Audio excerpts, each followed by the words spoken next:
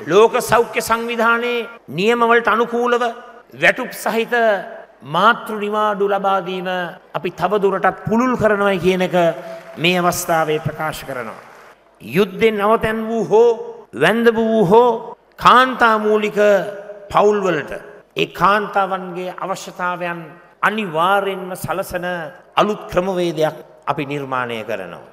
ශුද්‍ර මූල්‍ය ණය ආයතනවල ගිනිපොලි ණය අරගෙන විපතට පත්වෙච්ච ලක්ෂ ගණනක් කාන්තාවන් අපේ රටේ සිටිනවා. මම පැහැදිලිව මේ අවස්ථාවයේදී කියන්න කැමති කොටසකකට ණය කපා හැරීම් සිදු වෙලා තිබෙනවා. ජනාධිපති පදවිය ලැබුණු මොහොතේ සිටම මුළු ලංකාවේම ශුද්‍රමූල්‍ය ණය ආයතනවල ගිනි පොලියට යටත් වුණු කාන්තා පරපුරේ සම්පූර්ණ ණය අපි කපා හරිනවයි කියන එක මේ අවස්ථාවේ ප්‍රකාශ කරනවා. කාන්තා පරපුර වෙනුවෙන්ම සහන ක්‍රමයට ණය ලබා දෙන ජාතික කාන්තා බැංකුවක් ස්ථාපනය කරන්නට මං කටයුතු කරනවයි කියන එක මේ අවස්ථාවේ ප්‍රකාශ කරන.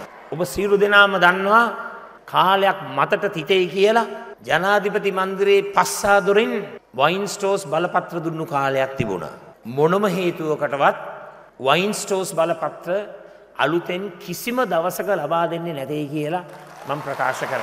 පාසල් ආසන්නේ තිබෙන සියලූම වයින්ස්ටෝස් වසා දමන්නට මම අනිවාර්යෙන්ම කටයුතු කරන. මද්‍රව්‍ය ජාවාරම කුඩු ජාවාරම ක්‍රියාත්මක කරන කුඩු කප්පිත්තන්ට දෙන්ඩ පුළුවන් උපරිම දණ්ඩනය ලබා දෙන්නට අපි කටයුතු කරන. ප්‍රාදේශී සභා සභාපතිවරු හෝ මන්ත්‍රීවරු කාන්තාවන්සියයක් දූෂණයට ලක් කරලා ඒ සංවත්සර පවත්වපු යුගය අපි සහමුලින්ම නතර කරවනවා. කාන්තා හිංසනය කාන්තා දූෂණය තරේ හෙලා දකිනෝ පමණක් නෙවෙයි දැඩි දඩුවන් ලබා දෙන්නට මගේ කාලය තුළ නව නීති ඉදිරිපත් කරනවයි කියන එක මේ අවස්ථාවේ ප්‍රකාශ කර.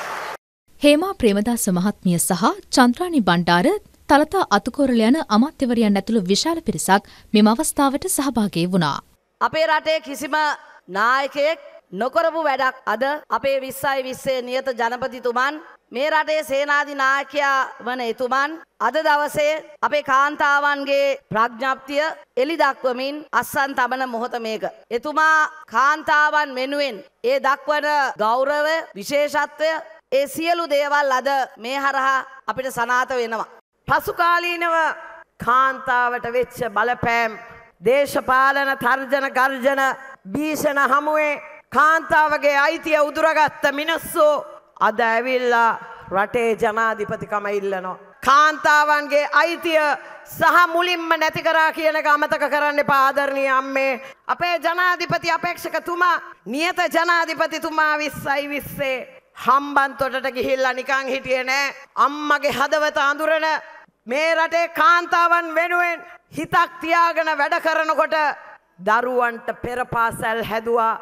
වෙහෙර විහාරස්ථාන ගොඩ නැගවා අම්මගේ අගේ දරන්න පුතෙක් පුංචි අත දරුවගේ ඉඳලා වැඩි මහලු කෙනා දක්වා රටේ යුක්තිය සාධාරණත්වය නීතිය වගේම ඕගොල්ලන්ගේ අයිතිය ආරක්ෂා කරන්න කැපවෙච්ච තරුණ නායකෙක් කියන එක අපි මතක් කරන්නට ඕනේ.